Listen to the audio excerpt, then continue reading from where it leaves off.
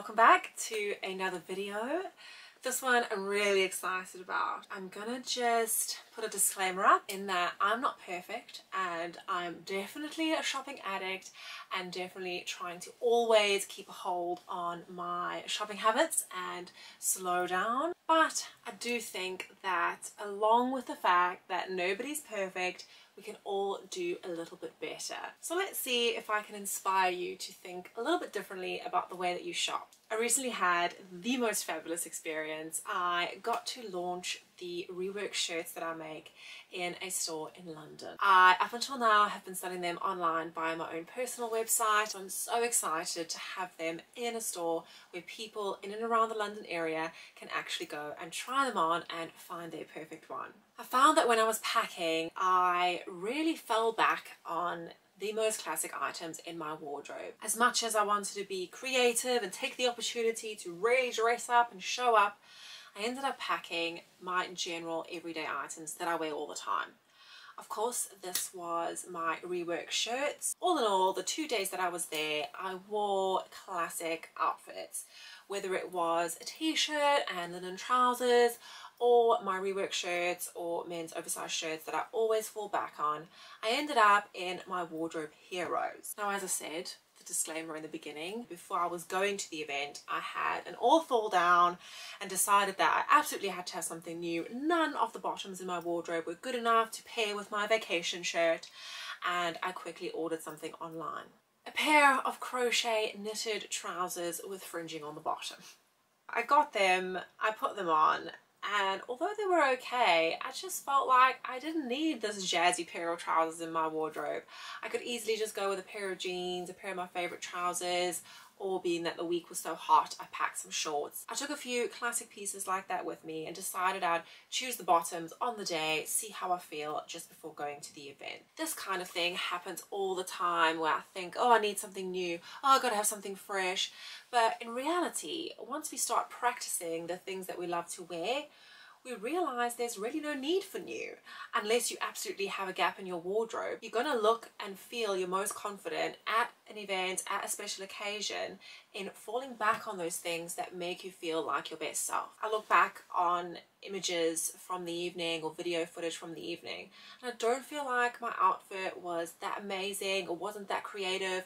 I wore a pair of shorts that I made myself and a shirt that I re-ripped myself but it felt like me I felt super comfortable. That's a roundup on my first point is that when you're about to shop stop.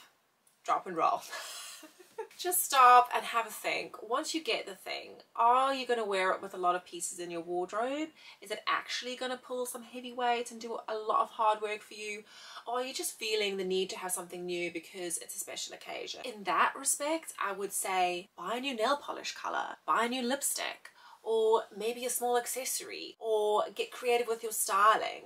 Don't default to just purchasing something new.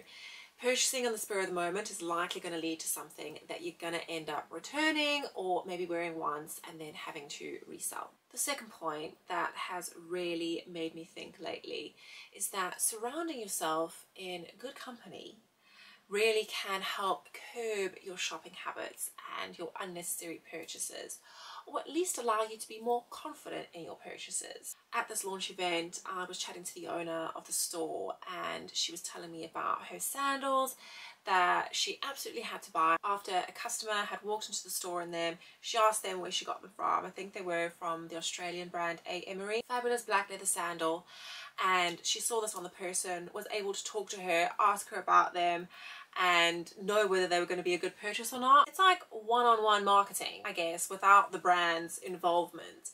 But you're going to get a personal review, see them with your own eyes, and if you're around fashionable people that have similar style to you.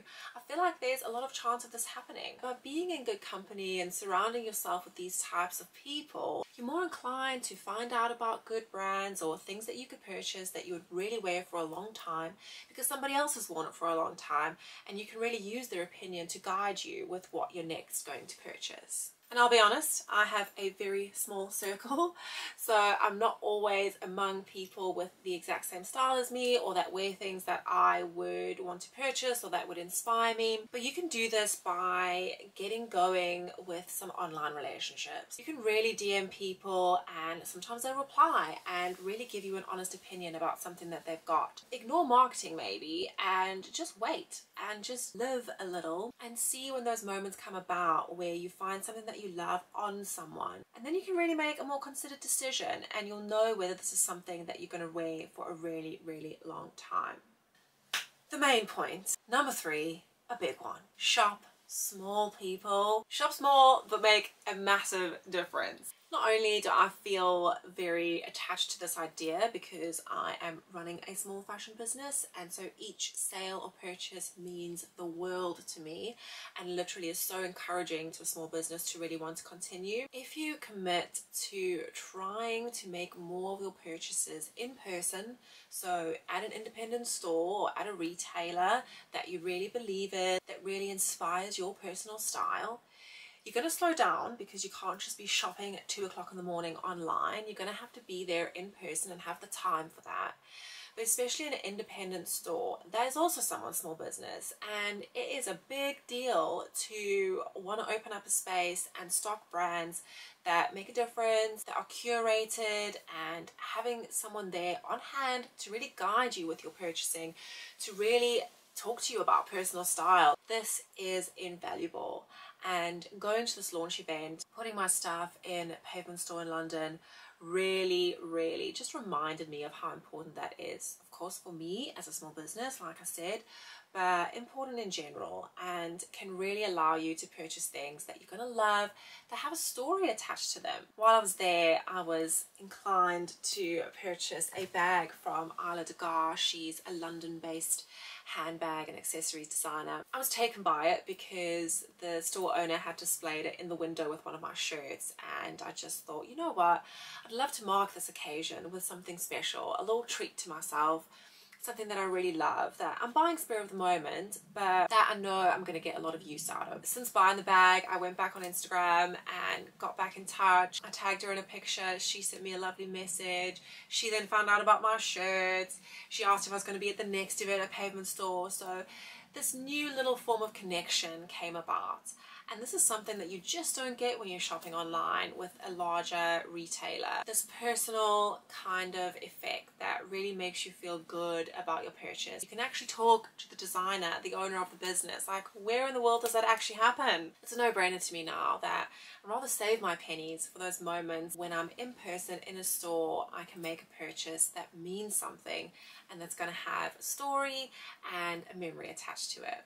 To slow down and shop in this way, of course, takes time and you're really going to have to put some restraint on yourself. If, like me, you really, really love to shop. Something that's really helped me is to create loads of wish lists. You'll have this list to draw on when you are in a store in person, not wanting to make a mistake because sometimes it can be overwhelming when you're used to shopping online and being able to return and that kind of thing. You'll know that if you see something that is on your list, you can guilt-free purchase it because you are in fact looking for that item. It takes preparation, it takes a lot of effort, as we're learning or as I've learned and I'm telling you via these videos, a great style or a seamless wardrobe or getting dressed and putting fabulous looks together easily and not being bored of your wardrobe does take effort. It does take time. I think we do have to give ourselves these little tips and tricks rules. If you want to say that can really keep us in check and allow us to slow down and think more critically about what we're adding into our wardrobes.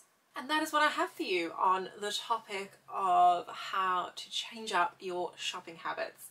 I really just wanted to use the moment that I'm in. It's only about two weeks since that event happened and I was so inspired by it and I thought this fits in really well. If we're going to sort out our wardrobes at some point we're going to want to shop and update them. So all I can say or at least hope for myself is that going forward I continue to keep myself in check and shop more responsibly. If you like this video, give it a like and definitely subscribe. I will see you for another episode soon.